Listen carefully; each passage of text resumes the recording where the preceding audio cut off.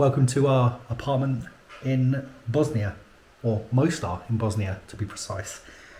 And getting here was quite quite the uh, journey, uh, full of ups and downs, I guess you could Oh, say. yeah. So um, we're going to use this video as an opportunity to show you through just what happened. So uh, we um, started off in Dubrovnik, where they filmed Game of Thrones in Croatia, um, and we jumped on a Flixbus and we made our way over to Bosnia, where we are currently. And getting there was quite an interesting little journey. So uh, have a little look at this video now, see what happened, follow through with the jour- the journey that we've been on, and uh, yeah, learn all about how we got to Mostar. Enjoy.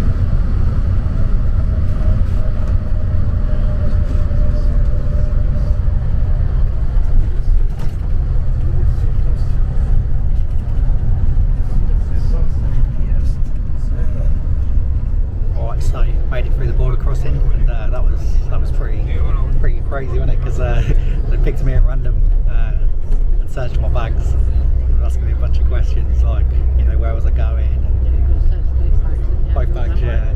They they uh, they specifically said me. They said you come off the bus with both bags, yours and your wife's. We want to search them. And I was like, oh no, don't say that. Why me? What have I done wrong? And um, yeah, it was all fairly routine, thankfully, pretty straightforward. Really quick. Yeah, really quick, but uh, it was asking about like medication, alcohol, tobacco, stuff like that. You know what I mean? But yeah, pretty eventful. But yeah, we're in Bosnia now. We made it here, so new country on the map. Happy days.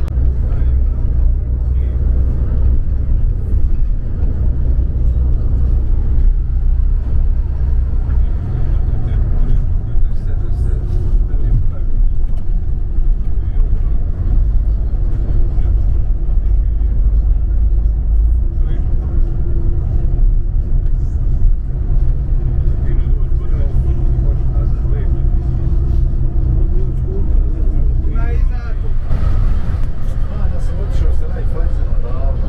Ima na račun, ali imam nikada to, samo doplaćivam na Boga držim. Danas došla poruka, do 31. dana izašimo bilo post neku transakciju. One su najskuplji. A je, A ja nam tjesim. So as you can see, we've made it to Mostar, and now we are heading towards our apartment. And what a day it's been already. We've literally done three hour coach ride, which was delayed by an hour. Um, and then I got stopped at border, uh, border, con- border control, border control. That's the third time that's happened to me. Three different countries. Obviously one is uh, my homeland, England, happened to be in London. And uh, then it happened, where was it? Greece. Yeah, Happened to be in Greece. that was my fault though. That was your fault, yeah. and then uh, obviously third time now, Bosnia and Herzegovina. So yeah, I've got a bit of a knack about getting uh, pulled aside for random checks and searches. Well, the first time actually was because Tammy decided to clean the house with bleach. Oh no, that was one of the trees. It was, yeah. So I got detained in both. Well, not detained. I got searched at customs. Oh, the, I got se- searched by security there and back because uh, Tammy cleaned the house with bleach and got it on my bag. This bag actually. so uh, yeah, we don't. We haven't done that again. And then this time I think it was just a random search. So literally, right, they took me into this small room, and they were like, "Oh, Well, actually, there's a bit more context, right? So we were sitting there, and we came to the border crossing, Yeah, border. and this uh, policeman got on, right? And he started looking around the coach. He looked at me, looked right at me. He was like, "You, come with me." I was like, "Oh my god, what is going on right now?" And uh, he was like, uh, "Do you have bags with you?" I was like, "Yeah, we've got two, and we've got this like shopping bag full of food. Uh, we don't care about food. Is the uh, food and drink? And the two bags bring with with you, not the woman. You, you bring." Okay, so we got up. I don't think Tammy heard what he was saying, and uh, wow, yeah, That's amazing. the haunted house vibe. Maybe you can make that out. They put cobwebs on a abandoned house. Well, looks like cobwebs. I don't know what they are. And uh, Tammy didn't hear him, so she went to get up with her bag. He's like, no, no, no, not you, just him. so take me to this small room, right? And they're like, right, empty your bags. Uh, before you do that, is there anything you want to declare? You want to say? Um, you got anything you shouldn't have? I was like, nah, mate, nothing, nothing. No drugs, no alcohol, no tobacco, like nothing. I don't want to do the accent. Just want to really paint the picture for you.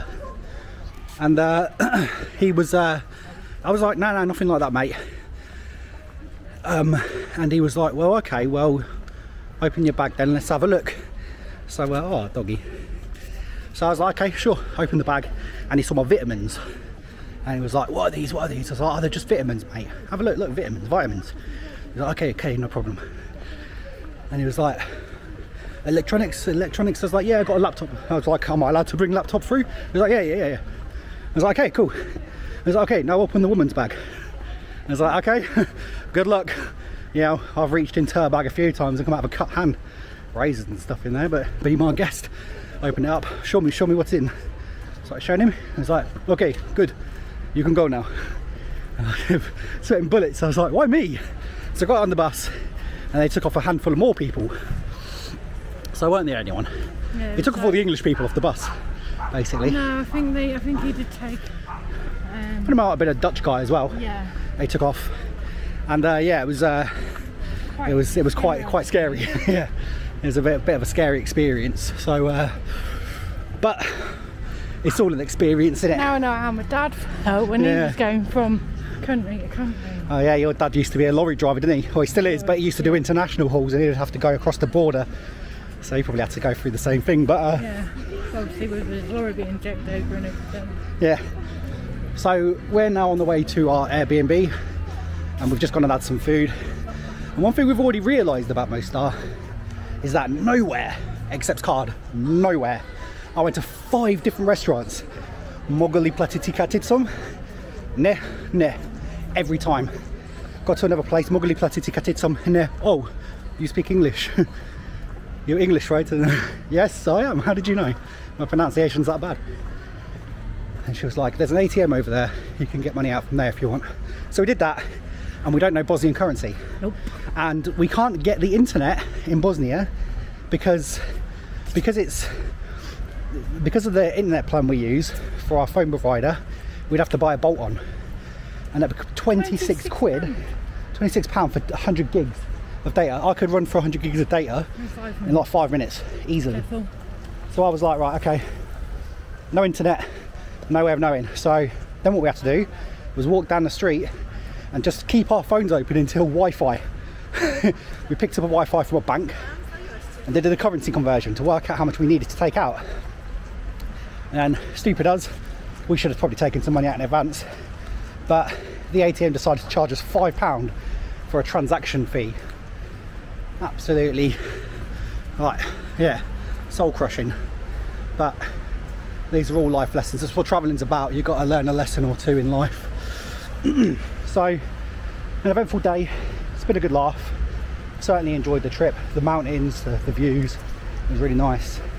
And now we're going to go and find this Airbnb and go and relax for the evening. Now we've got a full stomach. I had chewab chichi again because I love that stuff. I wish we could, I wish I could get that in the UK. So, really want to thank you for watching. We hope you have a great day and please do join us for our day where we spend our time here in Mostar. We've got a day here so we're going to go and look around. Hopefully our card issue isn't too much of a problem, but we shall see. So wish us luck and we'll see you on the next one. Take care people.